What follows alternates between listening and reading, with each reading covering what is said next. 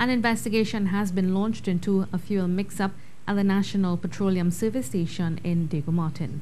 The incident is said to have taken place on Wednesday. A video had since surfaced on social media showing drivers attempting to empty their fuel tanks.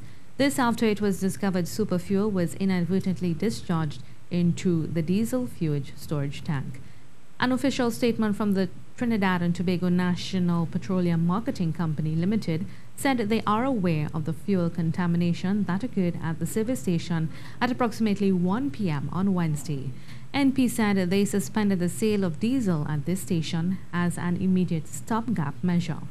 Maintenance technicians were deployed to take remedial action by removing the product from the tank and flushing the entire system.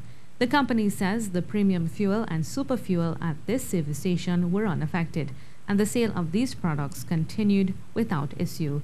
NP also said a new supply of diesel was delivered to the Diego Martin service station. NP assures the public that a full investigation and analysis of the matter is being conducted.